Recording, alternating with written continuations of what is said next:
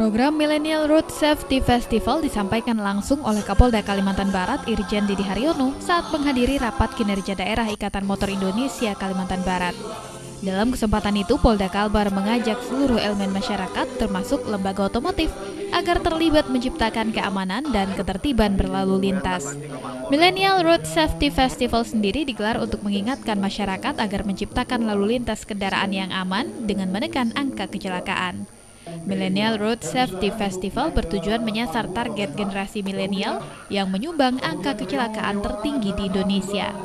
Program Millennial Road Safety Festival, semua komponen masyarakat, komunitas-komunitasnya kami harap juga ikut bersama-sama. Karena bagaimanapun juga kita ingin uh, kelompok ataupun kaum milenial ini benar-benar uh, menjadi contoh bagi kita semua ya terutama nanti di adik-adiknya nah jangan sampai nanti uh, apa namanya menjadi korban sia-sia. Jadi Millennial Road Safety Festival ini adalah bagaimana kita memberikan pemahaman yang baik kepada generasi milenial untuk mereka benar-benar bisa menjaga diri dalam berlalu lintas dan untuk menyelamatkan diri mereka dan